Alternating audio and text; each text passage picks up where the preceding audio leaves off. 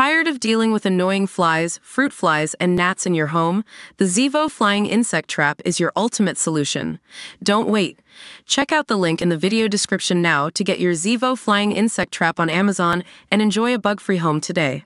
Kanye West's former chief of staff Milo Yiannopoulos has made a number of sharp allegations aimed at the rapper and his dentist, Thomas P. Connelly, in a legal affidavit. Yiannopoulos, 44, who quit working for West in May, said in the affidavit that he worked for the Grammy-winning artist, 47, between 2022 and 2024 as his chief of staff, in which his job duties consisted of solving mysteries and fixing problems where others have failed. Yiannopoulos said in the affidavit that in addition to West, he has also worked for Georgia Representative Marjorie Taylor Greene and a series of wealthy individuals in Florida, backing up what he claims is respectable track record exposing fraud, theft, and ill intent of every kind. Yiannopoulos said the affidavit was in tandem with a complaint he filed with the California Dental Board accusing Connelly of reckless, unethical, dishonest, explorative and, upon information and belief, illegal conduct. Yiannopoulos said in the affidavit that he was motivated by urgent concern for West's health and safety, in both his own capacity of himself and on behalf of several individuals close to him. Yiannopoulos said in the affidavit that he went through the additional and unusual step of providing a sworn jurat affidavit, which he said comes under a penalty of perjury, and that all materials have been forwarded to the Attorney General's office and the FBI.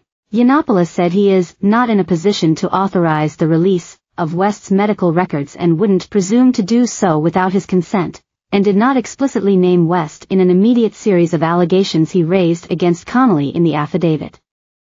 West was seen in a Reddit post three months ago with a mask on with the caption, Ye on nitrous. Yiannopoulos said the affidavit pertains to actions of Connelly, that includes, the unlawful supply of enormous quantities of nitrous gas to a wealthy, famous patient for explicitly recreational use, as well as the physical transportation of four surgical-size canisters by Connelly himself into the patient's home on just one afternoon.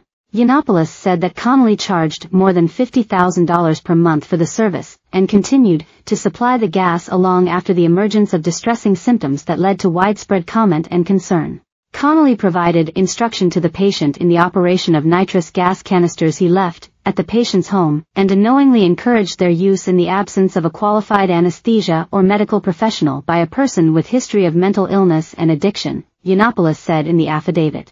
Yiannopoulos said in the affidavit that Connelly abandoned said patient to the self-destructive consequences of dependence, showing indifference or worse to the prospect of permanent damage in brain or body. Yiannopoulos said in the affidavit that based on what he knows and believes, Connelly was fraudulent in taking millions of dollars from a patient he knew to be in a confused, dependent, weakened and addicted state. Yiannopoulos said in the affidavit that Connelly moved into the patient's apartment building, at the patient's own expense, so as to better keep an eye on him. Yiannopoulos said in the affidavit that he had been promoted in January and saw that West's organization was $200 million in the red while taking in no income, and had placed the business into emergency measures by terminating more than 130 people in his first month. Yiannopoulos said that in February and March, he devised and deployed strict spending protocols, travel polices, limits on expenses and other financial controls to keep the books balanced better, and located millions of dollars in wasted monies due to reasons ranging from fraud to greed to double billing to redundancies.